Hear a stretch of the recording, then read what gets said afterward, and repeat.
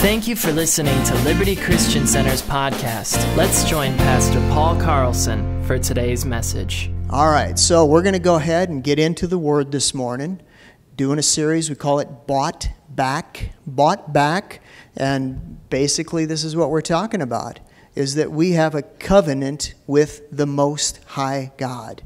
He's delivered us, He's freed us through Jesus and what Jesus did for us. I'm telling you what, He's brought us to a place where we can live and enjoy life. Um, you know, I'm a different kind of preacher, you know. Then there's all kinds. You know, I meet with pastors here in Menomonie and we have coffee and, and uh, it's a great thing and we talk and I know friends that are pastors and people approach it all different ways. You know, sometimes I have a couple uncles that were both pastors and in heaven now, and uh, my aunt who lives in California, when we go out there, we always talk with her, and she's told me good stories. She's such a good storyteller. And I've tried to record her telling stories, but she caught on that I was filming and she got mad at me, so I couldn't do it anymore. Although I do have them in my archive somewhere, in the cloud, in the cloud. But um, she said that, that my uncles used to actually memorize every word they were going to say, which is cool, man. Tell you, hats off. I, that would freak me out. That would freak me out to memorize. I mean, you know, I love, I love being part of weddings and seeing these couples, but probably the hardest thing for me is reading a script and, and, and uh, standing in one spot. Imagine that.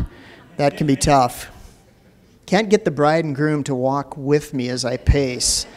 They gotta do a side step, do some kind of Michael Jackson move or something. I, you know, we could try that sometime, huh? Anyway, but uh, I, I am more of an inspirational minister, you know, and I basically, you know, ask God what direction to go, and I have notes. You know, I keep my iPad up there just to try to keep me on a, a course. But I, I believe God for what I would call unction. Is that a religious word? Unction? What I, yeah, it is. It is a religious word. How many used unction before they were born again? yeah, you know, was, who was that? No. but basically, I, I'm looking for the Holy Spirit. I'm looking for a road to go down with Him. And you know what my goal is? Is to go down a road with Him and that all of us go there too. You hear me? And frankly, what I say to you isn't nearly as important as what the Holy Spirit says to you. Okay? You see, we work together. And, and um, what I believe for is this that, that He'll take things that, that even I would say, and He'll take them and have impact to you. He'll take things, you know, and just show you things that you need to know. Because, you know, you look around here, there's just different, we're all different. We have different needs. Not everybody has the same needs that I have and Dana has. You know, not everybody is babysitting their grand dog these next two weeks. You know, but we are. We need Holy Ghost to show us how to temper the little guy. And anyway, not spoil him too much and all that. But but you know what? You have needs and Holy Spirit knows what those things are. And it's just so amazing to me how he'll take things and he'll just make them make sense to you, you know? You know, and sometimes people say, oh, that was a really good message. And I'm thinking, I don't think it was that great. But what I know happened is this that the Holy Spirit takes things and He shows them to you because you have a hungry heart. Can you say hungry? hungry. Say, that's me. You see, your hunger, your hunger, what kind of hunger? I'm not talking about hungry for the roast beef today, but your hungry, hunger spiritually is a powerful thing and it'll go and it'll reach into heaven's realm and it'll pull things into your realm that you need right here and now. Wow. You know, I, I, remember just as a, as a baby Christian, you know, the guy that, that was instrumental in leading me to Christ, he took me around to every church in Minneapolis because that's where I lived and just wanted me to, to get an experience and, and, and see the different flavors that were out there, okay? And I remember coming out of a, a, big church in downtown Minneapolis. Actually, it wasn't downtown at that point. Later, it moved to downtown, but it was over in South Minneapolis. And we walked out, and the Holy Spirit had just just spoke to me during the message, and I was just like like this. You know what? I love having newbie Christians around. You know, you know what I'm saying? You know, because they just everything that happens, they go, "Wow." And that's how I was. I was like, wow, I had the big eyes. I'm like, wow, can you believe that, that God just, He knew what I was going through and He spoke to me. And, and the guy that brought me, he goes, well, you know what? That's how Holy Spirit works. And he said he was probably telling different things to everybody in there, but it was things they needed. Isn't that amazing how He does that? He takes things, He knows you. He knows you that you're up here from Florida Cliff and Sharon. Good to see you. And, and you know, He knows things you need today. And He's going to speak to you and show you things that, that are important to you. You know, it's, it's so good. That's why it's great to work with the Word and great to work with Holy Spirit and, and just follow the trail that, that we're going to go. We kind of, I approach ministry kind of like we, we've approached prayer meetings for years. You know, Dana and I, Dana leads prayer now, and um, at the church, but for years we used to do it in our, our living room, and we would we would have people over every Wednesday night, and and uh, we'd we'd just pray and seek God and whatever you know. And say, "What'd you pray about?" Well, that's interesting, because what we would endeavor to do is not to come up with a big prayer list, but we would endeavor to do is find how to tap into what the Spirit of God wanted us to do, and then pray that way you know? So, I mean, you know, do you pray for the government? Sure. It's scriptural to pray for the government. Do you pray for the Philippines? Sure, it's scriptural to pray for the Philippines. But, but the biggest thing would be is just to tap it, to get yourself in a place where you can hear heaven and follow that trail. That's what's good. Frankly, that's how I do life. that's how I do.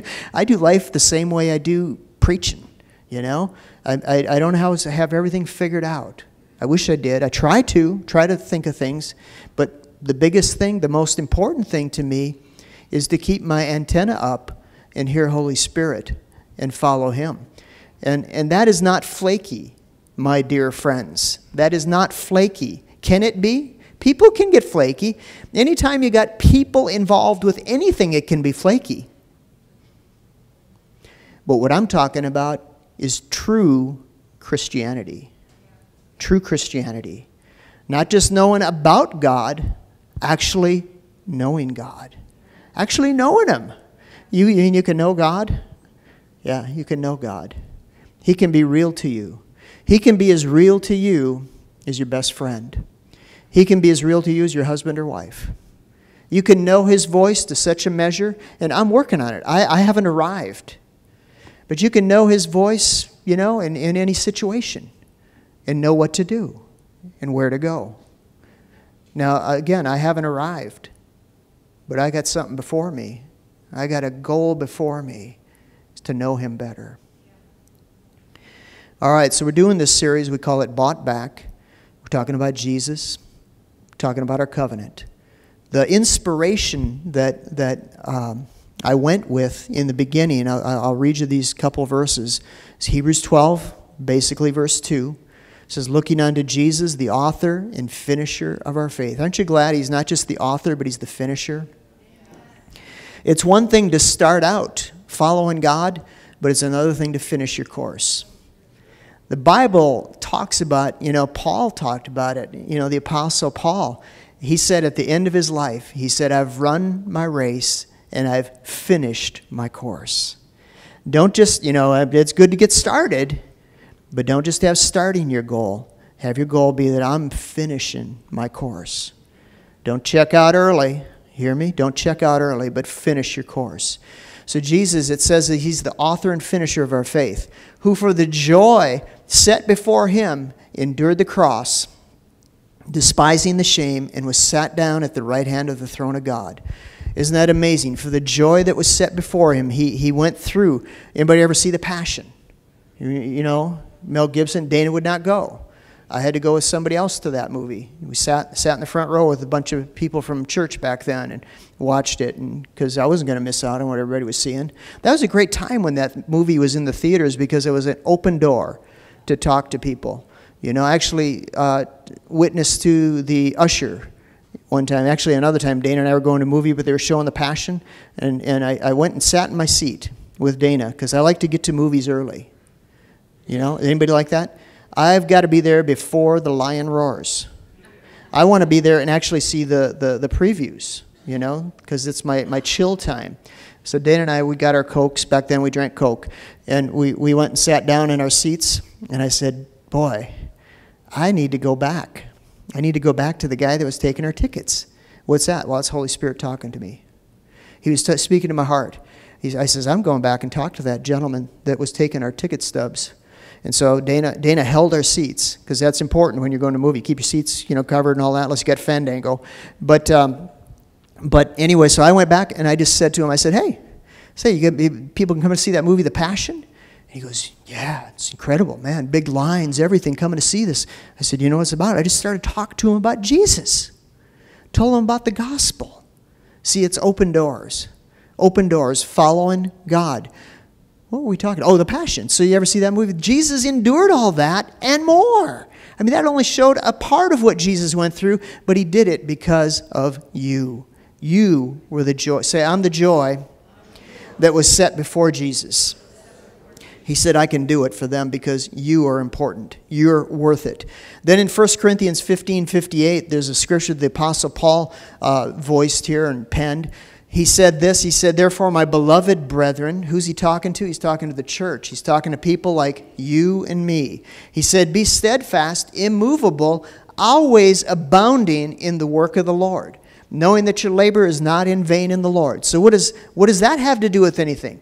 Well when I, when I was preparing for this message or praying about it, that was the inspiration that came to me because it's the picture I want to have of what God's doing in our hearts steadfast, immovable, always abounding in the work of the Lord. I'll say this that, that um, if you've wavered, dig your, deeps, dig your roots deep into the covenant you have with Jesus. Okay? If you found yourself wavering in life, go back and say, Hey, I'm a child of the Most High God. I've been bought with the price of Jesus' own blood. I've been purchased, I'm redeemed, I've been set free in Jesus' name. You see, this brings stability in your life. In this crazy world we live in, you and I can be secure. We can be stable. It's not that we love all the craziness of the world, but we've got something greater. It's Jesus and what he did for us. Are you with me? Amen. Three of you are with me. I'm glad. Glad. Come on, guys. Come on. We're going. All right. So I, I, I, got a couple stories, but before I go there, I want to just share this, this, this thing that, that has been real to Dana and I. You know, the things I talk to you guys about are things that basically we've practiced in our life, and they're real to us. And we don't have all the answers, but we're going in the right direction, I believe. And, and so that's what we're sharing. We've, we've done this thing for many years, and we'd call it pleading the blood. Okay? Pleading the blood. Now, that is such a crazy phrase when I think about it. One, it's full of Christianese, pleading the blood. There's not one time I remember, you know, back when I was hanging out, doing stupid things, that I ever stood up in the crowd and says, I'm going to plead the blood right now. Had I done that, they might have really thought I was nuts.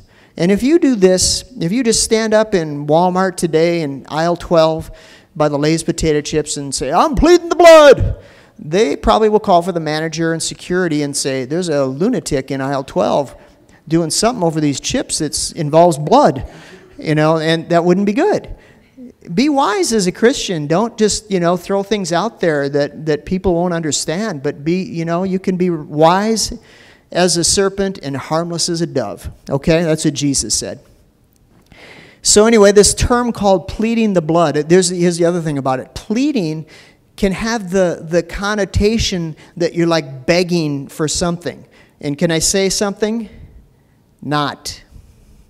That's not what I'm talking about pleading when i'm when i use this term i'm not talking about begging god to do something okay i'm not begging god to do something because the truth is he's already done this I'm simply declaring what God has already done. Okay? Pleading the blood is more of a legal term. It's a legal term, just like if you were in a court of law and you did what they call, I plead the fifth. Now, I'm not a lawyer, but I grew up watching Perry Mason and different shows like that. Somebody says, Who's Perry Mason? Well, ask me later. But, but, uh, I know this that when people plead the fifth, what they're saying is, I'm calling attention to a right that I have. I'm calling attention to something that belongs to me. I don't have to speak in this court, except I'm saying this I plead the fifth. So when I plead the blood, I'm drawing attention to something that belongs to me. I'm drawing attention to the blood of Jesus that was shed for me and it's upon that which I stand right now, and that makes me stable and secure. Couple places in the Bible it uses this kind of talk in Psalm 43 1. It says, Vindicate me, O God, and plead my cause against an ungodly nation. Deliver me from the deceitful and unjust man. Another one is Isaiah 3:13. It says, "Lord, the Lord stands up to plead and stands to judge the people." So again, in these these the contexts here, it's where it's like a legal thing and that, that he's pleading a cause or declaring a cause. He's, he's dec- I, I like the word declare, and what I could say is I declare the blood of Jesus is over my life. When do you do this kind of stuff? Well, I'll go the same way I did in the first service. As a parent, okay? As a parent, you may do this. Well, one, you might do it for yourself. You know, sometimes when, you know, Dana and I are having adventures, you know, in life and we're going down a trail or you know, we're driving our car through Iowa and there's a snowstorm that hits. That's happened to us more than once. That's happened to us. And, uh, you know, we, we pull over the side of the road because we can't see where we're going. I'm actually describing a scene. And, and we're, we're sitting on 35W on, on the side of the road because we couldn't see where the road was. And I'm waiting for a, a truck to come by so I can follow the tail. Anybody else know that trick? And we're sitting there and we see a truck in the rearview mirror. And, and the next thing I had to do was I had to grab Dana because she tried to run out the passenger door and jump in the ditch because she thought the truck was going to hit us. And I said, No! I grabbed her and pulled her back in the car. It's so fun to live with Dana. and, and, and, you know, that would be a time you'd say, Hey, I, I plead the blood. I plead the blood over us. Well, the truck went by us. We got behind it, followed its lights until we got to an exit, and we found a hotel. One of the last places we could find. Uh, they were just filling up like crazy because nobody could drive. But pleading the blood. As a parent, you might plead the blood. It's such a joy to be a parent. And, and you know, you get these little babies, you bring them home from the hospital you know, and, and you know, you don't really have a clue, but you trust in God and you're, you're calling on Him. You know, I think I prayed more as a new parent than any time in my life. You know, when you're up in the middle of the night, you know, and I'm praying, God, help me to help this kid you know, and, and whatever. I won't go in too far, but but you know, there's different stages as a, as a parent with with children. You know, the first six months they're just you know they're they're spitting up and doing baby things, and and then then then it gets to a point where you know you you, to, you totally have control over them though. You know, if you take them and you put them in the crib, they're going to stay in the crib until you t- pick them up and take them out. But then they begin to to do things like crawl and you know, I remember the first time Kara ever crawled. You know, it was it was before I went to work one morning. She crawled from one end of the house to the other, and I was like, "Wow, all right, she can crawl. It's so good." But then I found out that the fact that she can crawl meant that now, when I put her somewhere, she might end up on the other end of the house, and I don't know where she's even at because I didn't have as much control anymore because she was crawling. And then before you know it, they're taking that first step and they're walking. You know, it seems like it goes that quick anyway. And all of a sudden they're taking these steps, they're walking around the furniture, but then they make the big move where they let go of everything and they take a couple steps and they fall. And you know, you get so excited, you grab the camera, you call everybody in the house, you say, hey, look at they're walking. But you don't realize it opens up another whole new world because now they're like unlimited in where they can go. You're at a mall and you let go of their hand for a minute, and they could be over, you know, in, in the, the automotive place instead of in the, the clothing place or whatever. Well, it continues to go on, and I'm going to jump several years ahead, and all of a sudden you're beginning to teach them how to drive. This day is coming anyway, but any case, you teach them how to, how to drive. And, and I always took my girls, you know, like to, you know, Downsville or something. We drove around and, you know, taught them how to park and do all that kind of thing. And went by the old galley cheese factory on our route, you know, in the, in the driver's school. But then there comes this next time where they get their license and they're coming to you and they're asking you for the keys to the car. They're not just going to walk around the house, they're going to actually leave the house in a motor vehicle.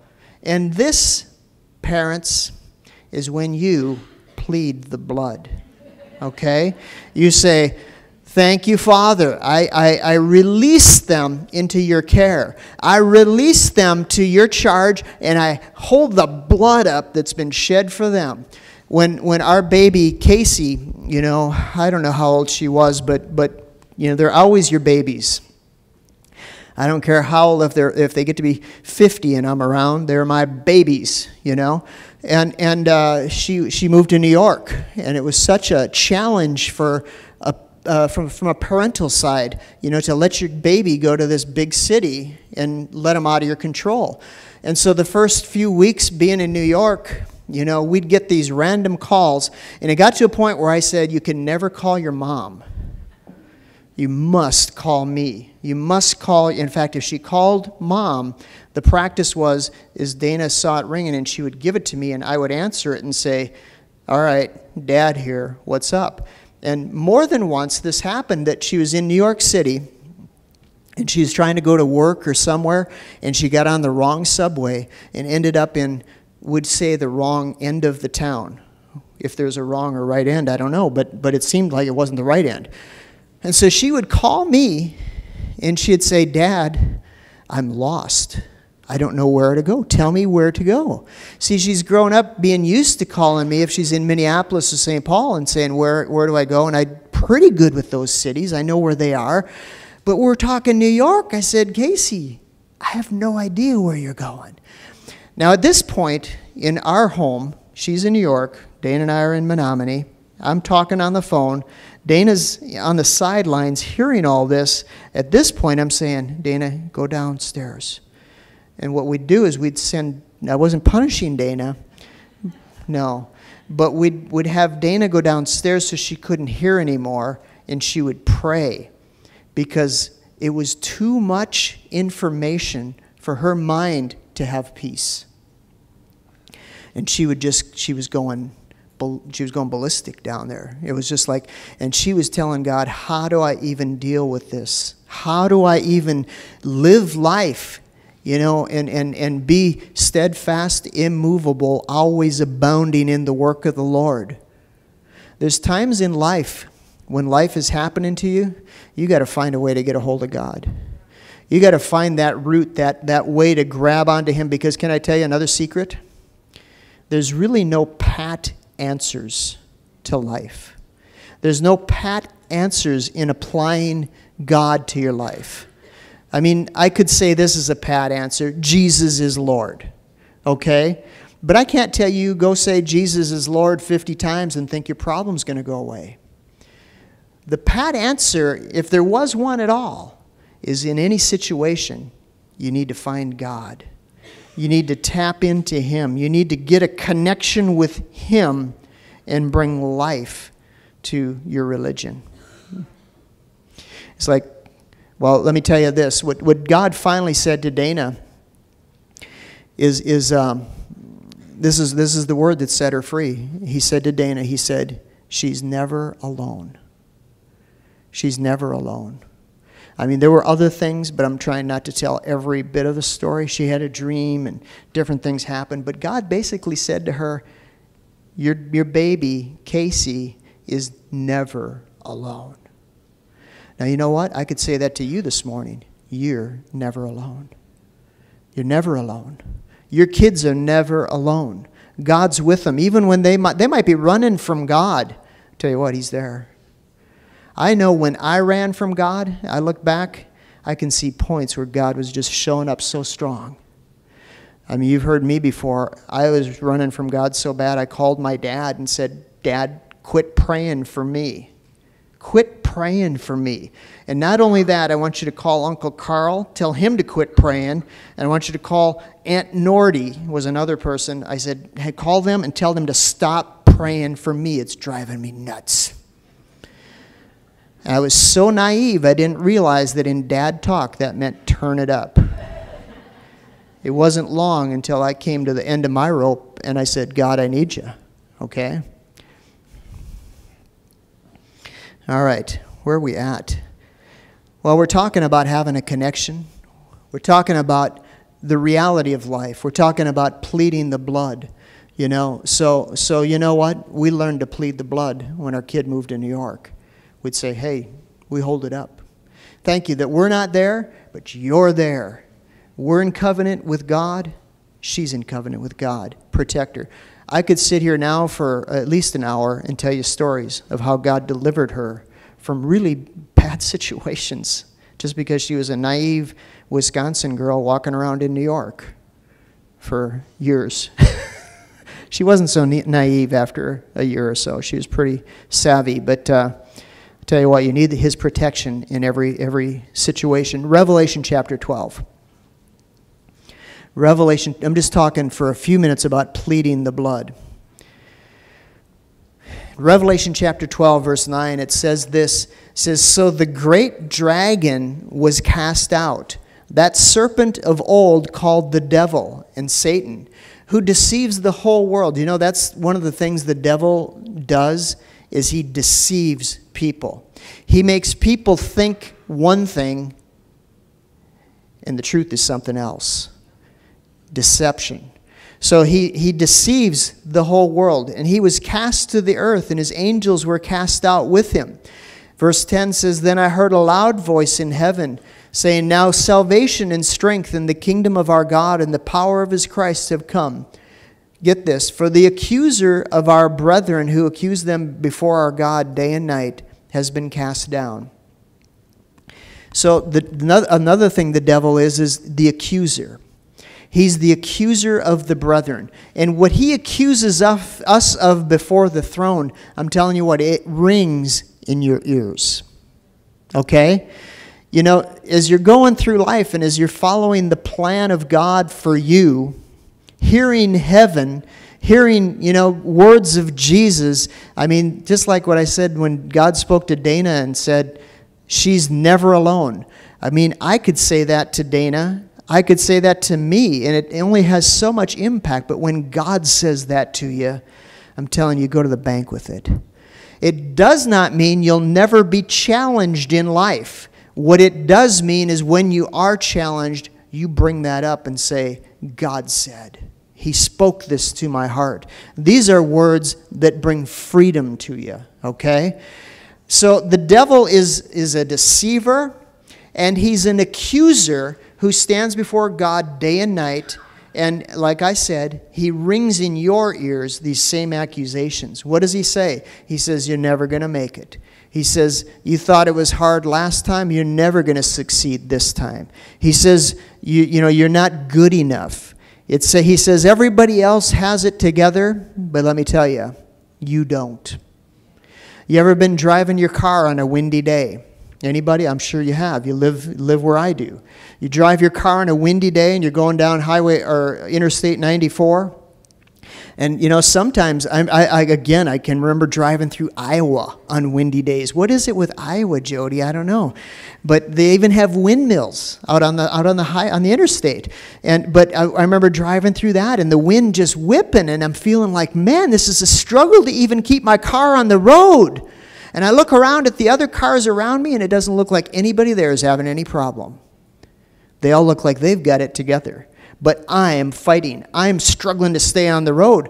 But if you could hear inside the cars, certainly if you could hear inside the heads of the other people on that road, you realize this they're fighting the same battle you are. All right? You are not alone. You're not alone in life. And the battles that come to you, they come to everybody. But the devil is an accuser, and he'll stand before God. He'll stand in between your ears and talk to you, and he'll tell you, You're not going to make it. You're not good enough. What you're going through, nobody's ever gone through. Those are words of the devil. You hear me? What you're going through, I'm telling you, it's not another human being that's ever lived, that's ever dealt with what you're. The things that you and I go through are common to man. They're common to man. And if you buy that lie that what you have is unique, well, you've got to get rid of that lie to go on. Okay? Verse 11, going on, same context, says, And they overcame him by the blood of the Lamb and the word of their testimony, and they didn't love their lives even to the death. So when thoughts are ringing in your ear, telling you, one, you're not going to make it, telling you you're no good, telling you that you'll never measure up, okay, the strategy you need to take is not to stand up to those things and say, Yes, I will. I, I, am a good person. I'm a good person. Do you know I went to Liberty Christian Center this week? I've been in church. I even took communion. That stuff will not win the battle for you. Having that argument will not win the battle you're in. But standing up and saying, hey, who am I except somebody that God loves? and Jesus shed his blood for.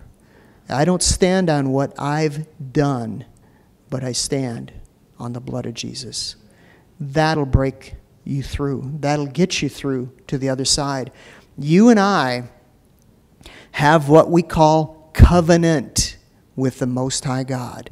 Covenant is a strong term.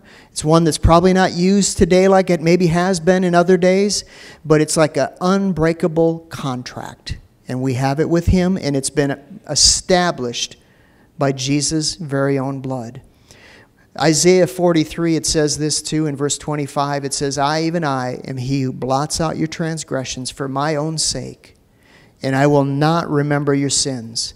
Put me in remembrance and let us contend, or I could say, let us plead together. State your case that you may be acquitted.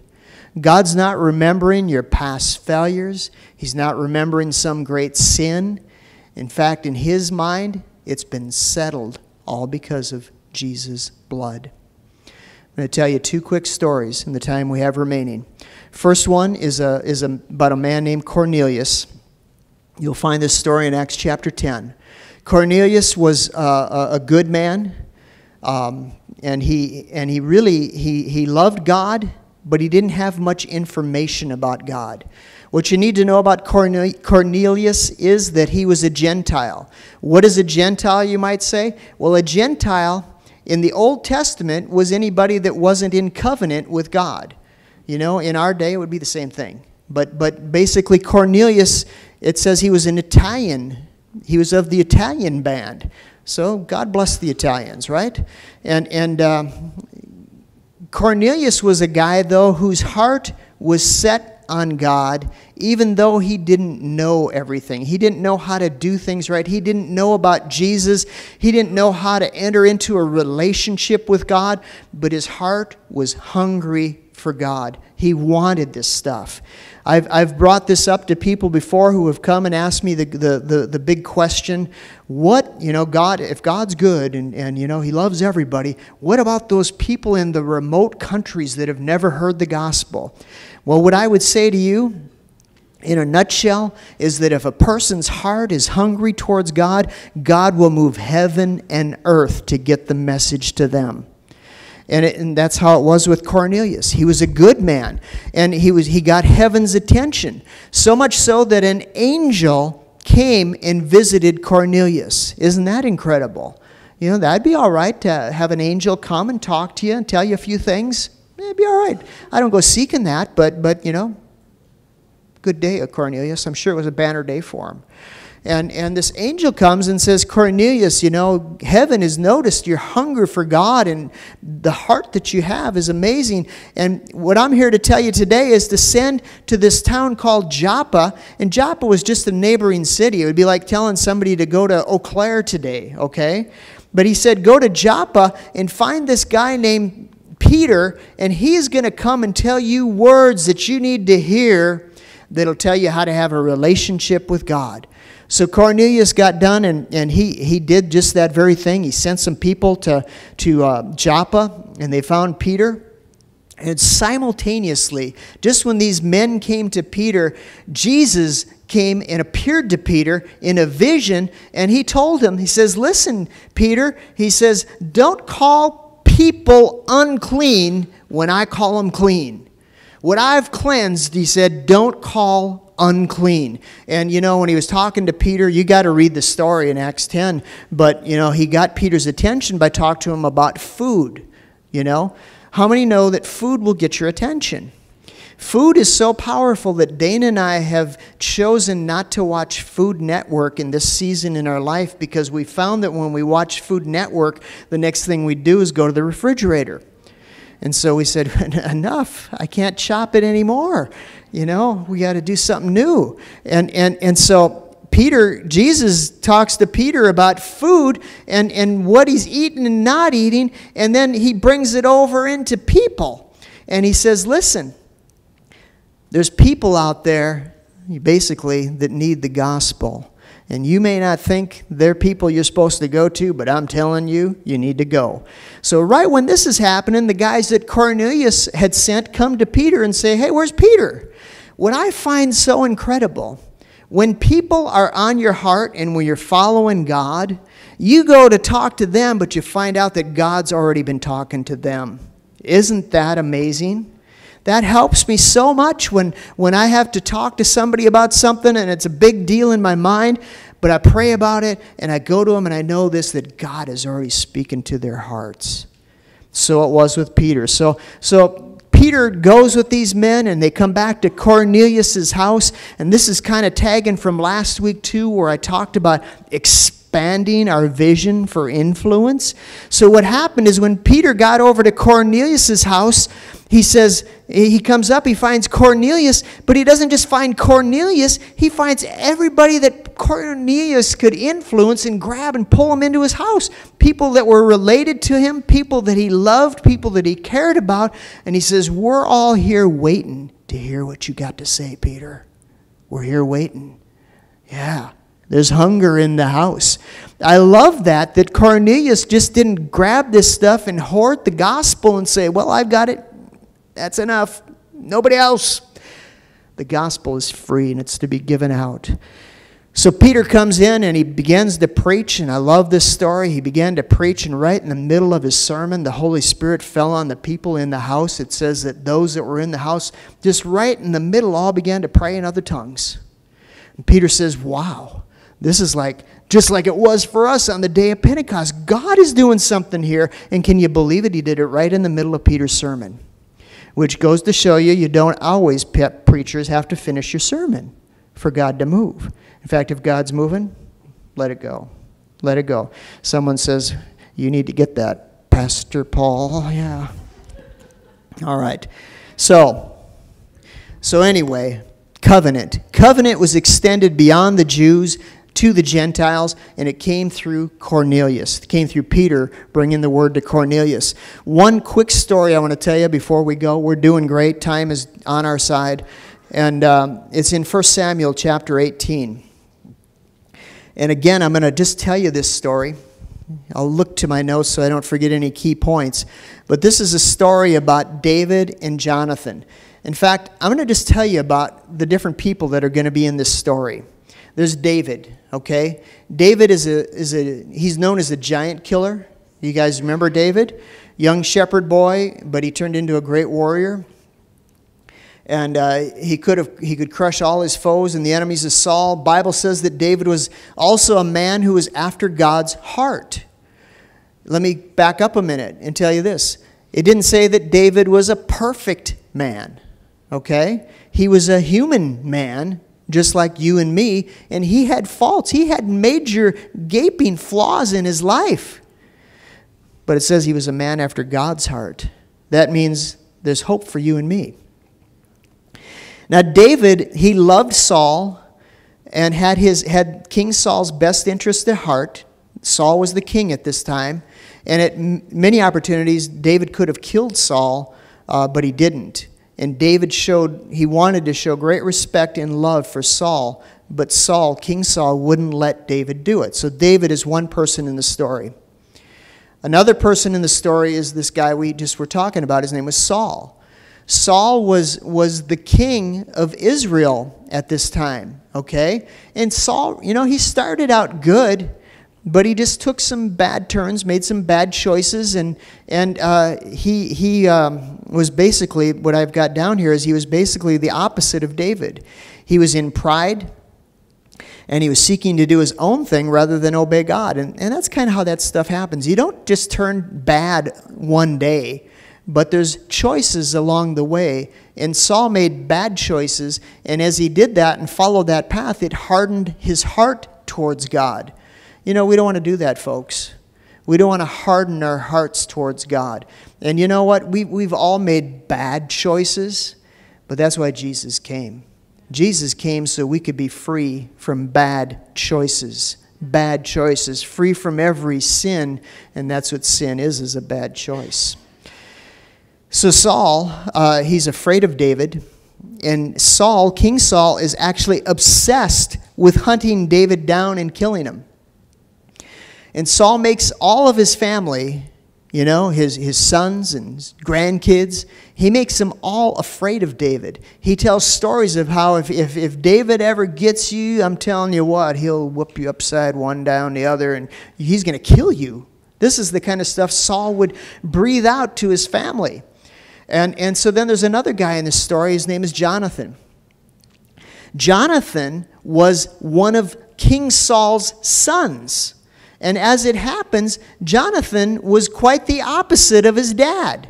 Where King Saul was, was in pride and, and anger and wanting to kill David, Jonathan, on the other hand, was, was, was, was like David. And, and they became great friends. David and Jonathan became great friends.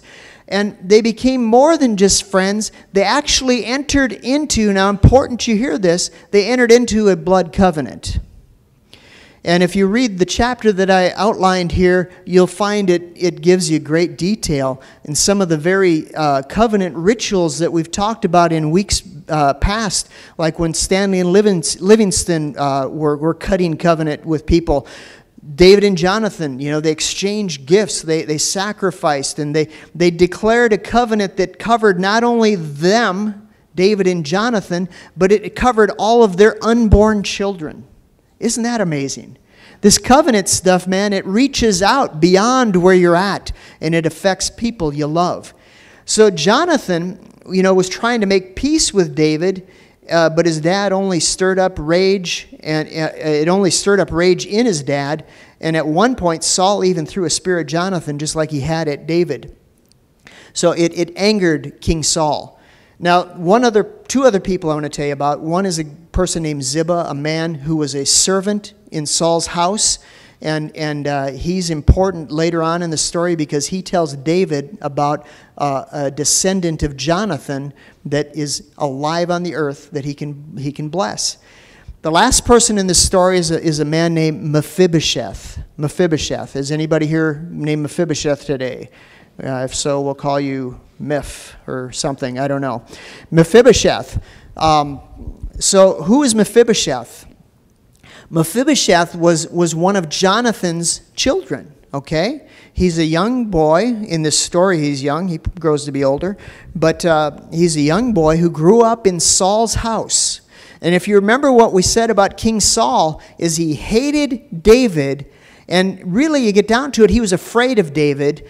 And the things that he said about David were not true, but he told everyone that, that if, if, if David ever gets the chance, he is gonna, he's going to kill you. So he brought fear into his household about who David was. Okay? So Mephibosheth is Jonathan's son, and he, he had an accident when he was young. Let me, let me go back and tell you this Jonathan and Saul are killed in battle, they both die. You know, David loved Jonathan, and, and it wasn't a pleasant day for David to, to lose either one of them, but they both died. When that happened, David becomes the king. And when that happened, the, the members of Saul's household, including Mephibosheth, they fled for their lives, as it were. Why is that? Because they had been taught to fear David and what he would do if he ever had the chance. So, in their, their scurry to get away from David, Mephibosheth has an accident. The, the person taking care of him is trying to get him out of the, the palace, and, and as they do it, he trips, and his feet, Mephibosheth's feet, are crushed. He's a five year old boy when this happens. And from that point on, he was lame and didn't have proper use of his feet. Okay? And so Saul and John or Saul and Jonathan have died. All of Saul's family have fled. And David makes a declaration. He says this, he says this to the people around him. He says, Is there anyone left from Saul's house, from Jonathan's house, that I can go and bless. Ziba, remember Ziba? Ziba is the servant from Saul's household. Ziba says, Yes, Master King. He says, There is one person I know of whose name is Mephibosheth. He's alive and he's in the land of Lodabar, okay? And, and, and he's, he's living today. His feet are lame, but he is alive. So David sets out to find Mephibosheth. Now, I guess the question I want to ask every one of you is this In life, in this life that we live here on planet Earth, have you at any time ever felt like you're an outcast? Have you ever felt like, man, I'm just not in the cool crowd? You know? Or have you ever felt like, boy, I was wrong, I was born in the wrong town, I was born in the wrong family? Have you ever felt like that? Mephibosheth felt like that. He felt like everything was against him from birth. He felt like, man, it's, been, it's, it's not fair. I, I, have been set at odds with the, the, the, king, with David. He said he felt like, wow, uh, who am I and, and, and what's going to happen to me? So let me ask you another question. In life, have you ever been taught something that you believed was true, only to find out later that it wasn't true, maybe about a person, maybe about God.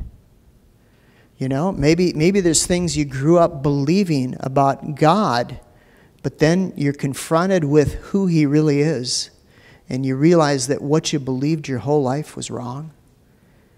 Again, this is Mephibosheth. Okay? So what happens? Here's what happens David, he goes to Lodabar and he finds Mephibosheth. Mephibosheth is in fear of David, but David, David takes him in. And what he does at that point is he restores to Mephibosheth, restores all that he lost as former grandson of the king. He gives him servants. And at this point, Mephibosheth's mind is being blown. His mind is being blown because this David, who all his life he'd been taught to fear, all his life he thought, oh, this guy, if he ever gets a hold of me, he's going to kill me. People have thought that about God. People have thought, man, if I ever get too close to God, you know, he's going to make me do something I don't want to do. He said, you know, if, he get, if I get too close to God, he's going to make me be a missionary in Botswana, and I don't want to go there. I heard one guy say he thought if he ever got too close to God, God was going to make him marry some girl in the church that he didn't like. And he said, and frankly, he said, I thought about it. I thought I'd rather go to hell than marry that girl. Anyway, I didn't say that. I'm just telling you what somebody else said. But, but, but, you know, that's what people think. They think if I get too close to God, my days of fun are over. So David comes to Mephibosheth. He restores to him all that he's lost. And get this he goes the next step. He says, Listen, from now on, Mephibosheth, he says, not only have you been restored everything you lost, but he says, I want you eating dinner with me every night.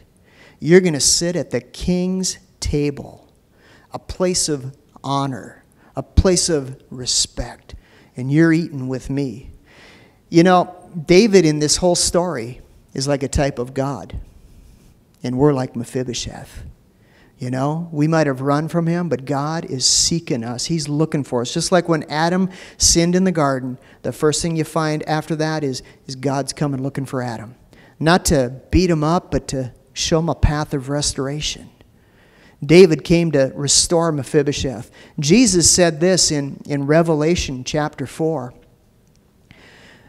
You know, Jesus said this. He said, he said uh, Behold, I, I stand at the door and I knock. He said, If any man hear me, he says, let him open his door and let him open his heart, and I'll come in. And what'll he do? He says, I'll sup with him. I'll sup with him. What does that mean? It means you've been invited to the king's table. Just for clarification, Jesus wasn't saying those words to the Gentiles. He wasn't saying those words to people out of the family, out of the kingdom. He was speaking to believers like you and me He's saying, Listen, this is my heart. This is what I desire. It's to have a connection with you. This is what I desire is that we could sit down and have fellowship together. Now, when I was growing up, my grandmother had a, had a, it was amazing. She actually had a picture of Jesus doing this. I don't know how she even got that, but it was a, a picture. I'm just kidding. She had a picture in her house of Jesus knocking on the door. And the thing about the door was this that it only had a knob on one side, on your side and my side. Jesus won't bust through the door, but he stands there and knocks and says, Hey, anybody, any one of my kids at any time, open the door. I'll come in and hang with you. You've been invited to the king's table. He wants to eat with you. Isn't that spiritual? eating with the king, eating with him. I remember one time I was working a job, when we started this church, I was working a job in St. Paul. And, uh, you know, I had great freedom on this job. They just wanted me to be there to solve any crisis that happened, which didn't happen all the time. And uh, I actually tried to argue with my boss once and tell him he didn't need me. And uh, I tried to quit, and they ended up giving me a raise and cutting my hours and paying me more. And I said, okay, let's try that again. No. but, but I remember I was talking to Dana on my break one night, and I said, I said to her, I said, yeah, you know, I think I'm going to go pray as much as I can and, and have a couple cookies while I'm at it. And she said, oh, Paul, that's not very scriptural. Go eat cookies and pray. I said, sure it is. Jesus says, I knock at the door. If you open up, I'll come in and sup with you. So, hey, you know what? He likes chocolate chip. Thank you for listening to Liberty Christian Center's podcast. To partner with this ministry or for any additional information, please visit libertychristiancenter.org.